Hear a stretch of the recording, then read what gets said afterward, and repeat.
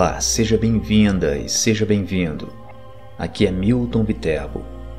Nesse vídeo eu vou esclarecer sobre como você está criando sua realidade e como pode mudar sua vida completamente através do poder da sua mente.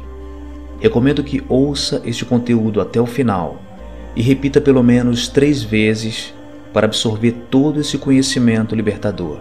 Se você ainda não é inscrito, inscreva-se, deixe seu like e compartilhe para ajudar mais pessoas. Há um segredo que todos os grandes pensadores, filósofos e grandes realizadores históricos e atuais concordaram ser uma verdade universal. Este segredo gira em torno desta ideia simples: você é o que você pensa. O filósofo inglês James Allen escreveu: Como um homem pensa, assim ele é. Como ele continua a pensar, então ele permanece. O imperador estoico e romano Marco Aurélio escreveu: A vida de um homem é o que seus pensamentos fazem dele. O poeta e filósofo Ralph Waldo Emerson escreveu: Um homem é o que ele pensa o dia todo. O autor Earl Nightingale disse: Nós nos tornamos aquilo em que pensamos. E Mark Twain escreveu: A vida consiste principalmente na tempestade de pensamentos que está sempre fluindo pela cabeça da pessoa.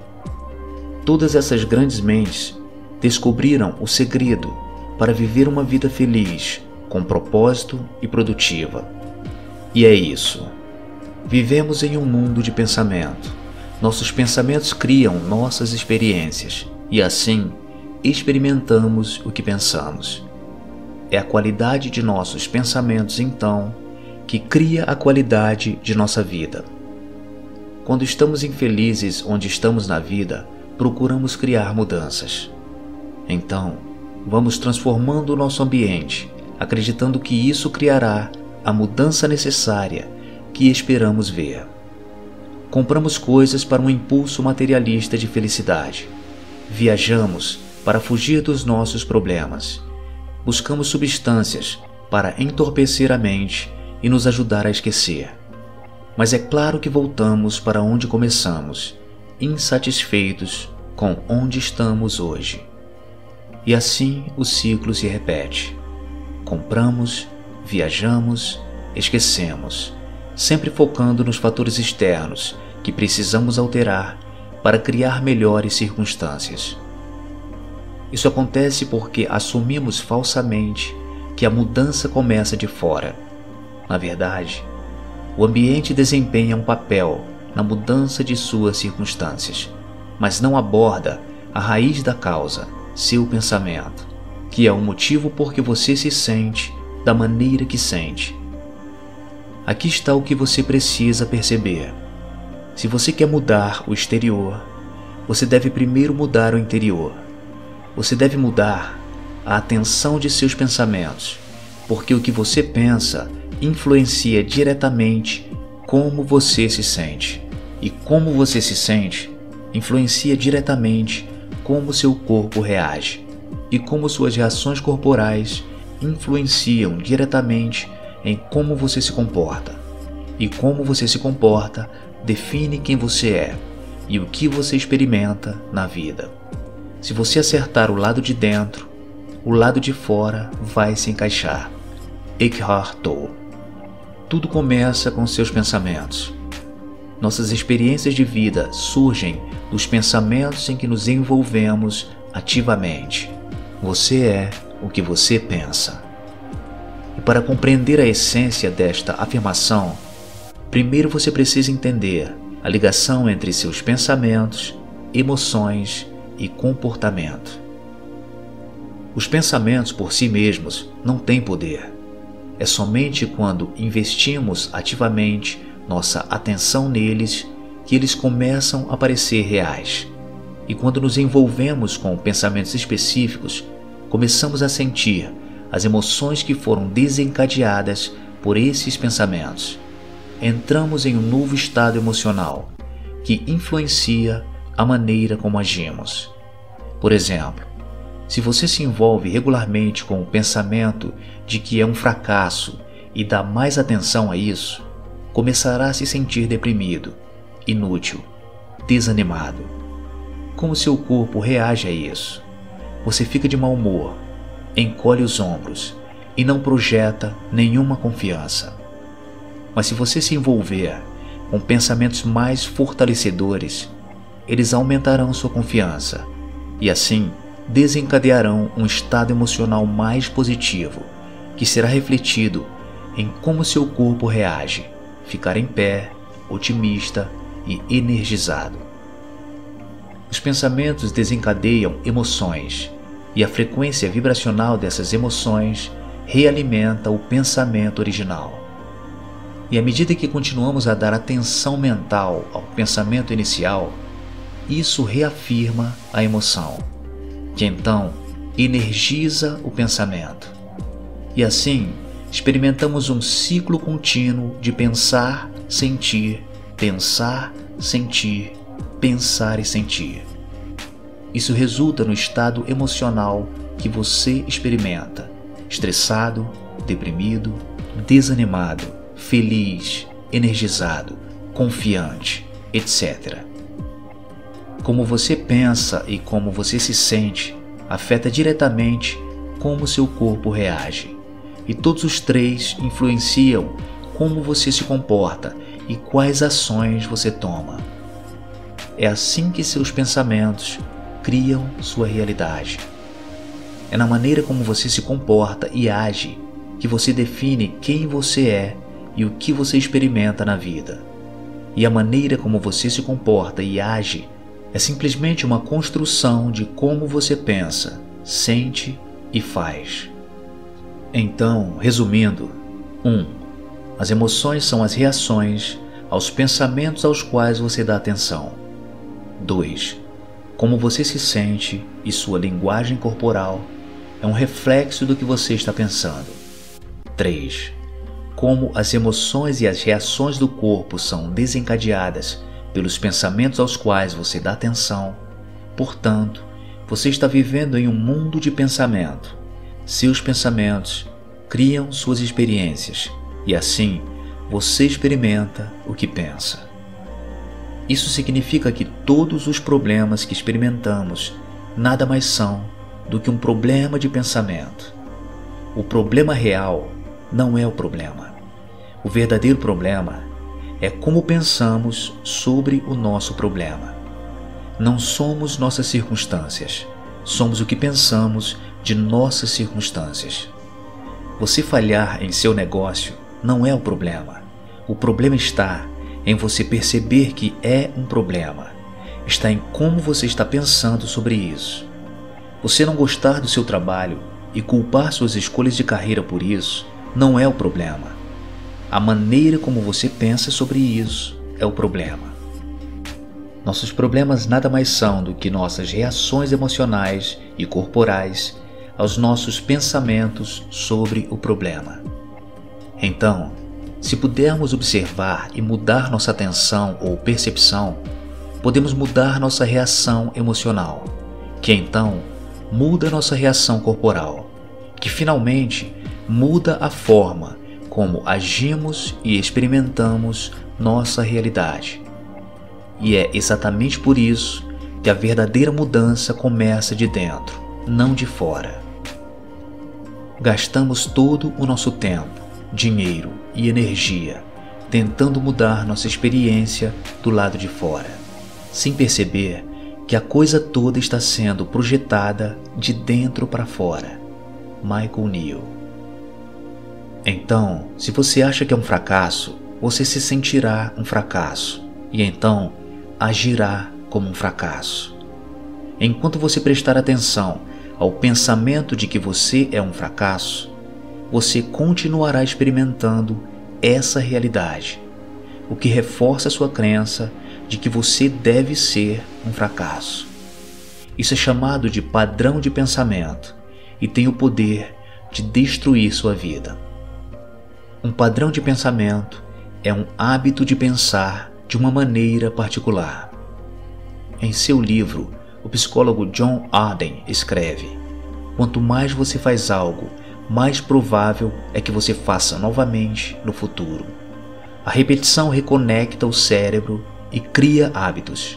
Quanto mais os neurônios disparam juntos, mais provável é que eles disparem juntos no futuro. Cada pensamento que experimentamos cria uma reação química no cérebro, que desencadeia uma emoção. À medida que nos envolvemos com esse pensamento, ele cria um novo circuito que envia um sinal ao corpo e reagimos de uma determinada maneira. Quanto mais repetimos esse padrão, mais ele se infiltra em nossa mente e se torna um hábito. É por isso que os neurocientistas dizem que células que disparam juntas se conectam. À medida que você continua tendo os mesmos pensamentos, produzindo as mesmas emoções e realizando as mesmas ações, você continua a viver pelas mesmas experiências. À medida que nos engajamos repetidamente nos mesmos padrões de pensar, sentir, fazer, esses padrões codificam como um projeto em nossa mente subconsciente. E o que nossa mente subconsciente faz? Ela executa 95% de nossa vida em automação. Como o Dr. Bruce Lipton explica, os neurocientistas mostraram que a maioria de nossas decisões, ações, emoções e comportamentos dependem de 95% da atividade cerebral que está além de nossa consciência, o que significa que 95% de nossa vida vem da programação em nossa mente subconsciente. É por isso que é tão difícil fazer a mudança acontecer. É porque repetimos os padrões de pensamento tantas vezes que eles agora se enraizam em quem somos. Nossos padrões de pensamento reforçaram nossas crenças e nossas crenças passaram a definir quem somos e a realidade que vivenciamos. A psicóloga Amy Morin explica que uma vez que você tira uma conclusão sobre si mesmo, é provável que faça duas coisas. Procure evidências que reforcem sua crença e desconsidere qualquer coisa que seja contrária à sua crença. Se você desenvolver a crença de que é um fracasso, verá cada erro que cometer como prova para afirmar que é de fato um fracasso. E quando você tiver sucesso em alguma coisa, você acreditará isso à sorte. E é assim que seus pensamentos criam sua realidade. À medida que você continua pensando que é um fracasso, continua a sentir e agir de uma maneira que reafirma sua crença. O que acontece depois?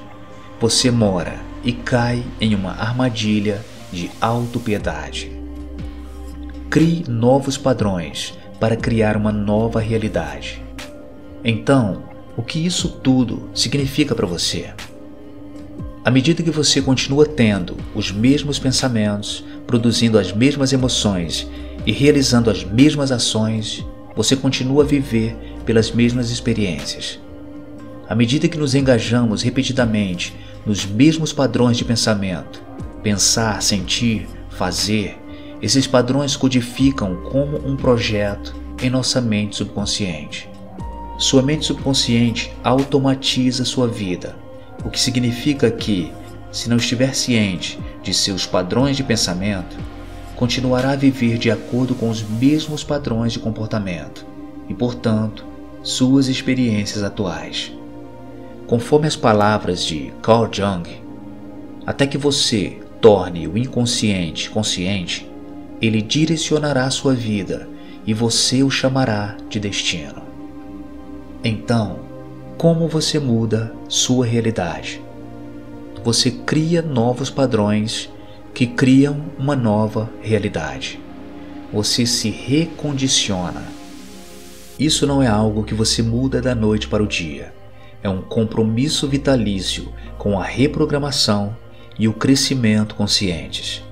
É o que os neurocientistas chamam de neuroplasticidade a ideia de que você pode reconectar seu cérebro criando novos padrões comportamentais, onde novas células disparam juntas e se conectam. E para que você faça isso, você precisa entender que você não é seus pensamentos. Você é os pensamentos aos quais você dá poder e atenção. Você é o pensador. Seus pensamentos nada mais são do que um fluxo interminável de ideias passando pela sua mente.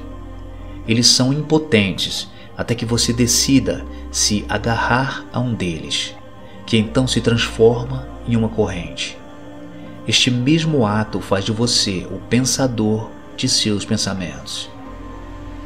Em outras palavras, imagine sua mente como uma fazenda e seus pensamentos como as sementes. Você pode plantar sementes boas ou sementes ruins. Seja qual for a semente que você escolher para se concentrar e plantar, ela crescerá e se multiplicará. E o mesmo acontece em sua mente. Seja qual for o pensamento que você escolher focar e plantar, ele crescerá e se multiplicará. Você é o plantador das sementes. Você é o pensador de seus pensamentos. Você quer que sua mente floresça em um jardim de rosas ou uma fazenda de venenos? Você não é seus pensamentos. Você é os pensamentos aos quais dá poder e atenção. Você é o pensador. Então, como você cria novos padrões de pensamento? 1. Um, aumente sua consciência, observando suas emoções e reações corporais. 2. Seja mais consciente de quais pensamentos você dá sua atenção. É o que os psicólogos chamam de metacognição a ideia de pensar sobre o nosso pensamento. Da próxima vez que você sentir uma emoção forte, traga sua consciência para ela, fazendo uma pausa e perguntando a si mesmo: o que está acontecendo em minha mente agora? Por que estou me sentindo assim? Por que estou com raiva? Por que estou chateado? Por que estou me sentindo tão para baixo? Isso pode nos ajudar a descobrir por que estamos sentindo o que estamos sentindo e nos levar de volta à causa raiz desses sentimentos, os pensamentos aos quais demos atenção primeiro. Como o autor e mestre treinador de programação neurolinguística Michael Neal explica, não são os pensamentos que passam pela sua cabeça que impactam sua vida, é aquele que você toma posse e pensa o dia todo. Uma vez que concordamos em dar atenção a um pensamento, ele se torna cada vez mais real para nós ao longo do tempo e tem cada vez mais poder sobre nossa vida. Isso desencadeia uma emoção, que então desencadeia uma reação do corpo e nos leva a agir de uma determinada maneira. Esse padrão de pensamento cria um circuito mental em nosso cérebro e à medida que o repetimos, torna-se um padrão de comportamento subconsciente que funciona com automação. É assim que seus pensamentos moldam sua realidade. É por isso que você é o que você pensa. E é por isso que todas as grandes mentes e pensadores concordam que vivemos em um mundo de pensamento. Nossos pensamentos criam nossas experiências e assim experimentamos o que pensamos. A qualidade de nossos pensamentos cria a qualidade de nossa vida. Lembre-se do poder dos pensamentos aos quais você dá atenção. Eles se tornam suas crenças e passam a definir sua vida e como você a experimenta. Lembre-se, você é o que você pensa.